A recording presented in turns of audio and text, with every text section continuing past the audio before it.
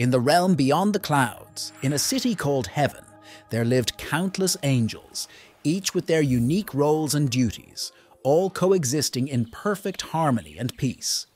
Among these celestial beings was Michael, known throughout heaven not only for his strength, but also for his wisdom and fairness. Michael's life in heaven was filled with joy, purpose, and the serene beauty of the divine kingdom. Heaven itself was a sight to behold, with streets of gold that shimmered under the eternal light and rivers clear as crystal flowing through lush gardens. Flowers that never wilted and trees laden with fruit that sparkled like jewels adorned this paradise. Michael spent his days overseeing the protection of heaven's gates and ensuring peace among its inhabitants. He was a leader among the archangels, respected and loved by all for his dedication to God's will and his compassion for every being, great or small. His interactions were often with the other archangels, discussing matters of the spirit and the well being of both heaven and the world below.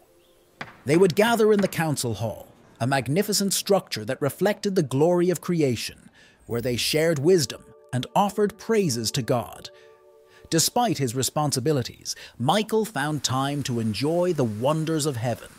He would wander through the gardens, sometimes alone, contemplating the mysteries of the universe, or sometimes accompanied by fellow angels, sharing stories of creation and the joy of serving the Almighty. The peace of heaven was profound, a peace that transcended understanding. It was a place where no shadow could exist, where every heart was filled with love and every soul was in perfect communion with God. This was Michael's home, a haven of goodness and light, a testament to the beauty and perfection of divine love. But peace would not last forever. There was one angel named Lucifer who was very beautiful and shone like the morning star. However, Lucifer's heart grew dark with pride. He wanted to be above everyone, even God. This led to a great sadness in heaven, for such thoughts were against the love and unity that held it together. One day, Lucifer decided to rebel against God. He convinced a third of the angels to join him, promising them freedom and power. But this was a grave mistake, for no one could stand against the love and might of God. When Michael learned of Lucifer's rebellion, he knew he had to act fast to protect heaven and its peace. God gave Michael the task of leading the loyal angels against Lucifer and his followers. It was going to be a battle unlike any other, a battle between light and darkness, right in the heart of heaven. The day of the battle arrived. The sky above heaven was filled with the sounds of clashing swords and the bright flashes of armor. Michael, with his sword of pure light, led the charge against Lucifer. The battle was fierce, with Michael and his angels moving quickly, dodging dark flames and countering attacks with bursts of brilliant light. Lucifer, with his own powerful sword, fought back with all his might. Around them, the sky turned into a canvas of chaos, painted with streaks of light and shadow as the angels fought. Both forces suffered great losses.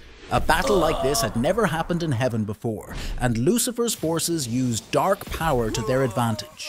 Despite Lucifer's strength, Michael's determination and faith were unbreakable. With a mighty shout, Michael called upon the power of good, and his sword shone even brighter.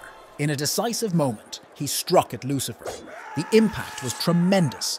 Lucifer, unable to withstand the power of Michael's faith and the unity of the loyal angels, was defeated. Lucifer and his followers were cast out of heaven, falling like meteors far away from the light. Michael and his angels stood victorious, but their hearts were heavy for the loss of their brothers.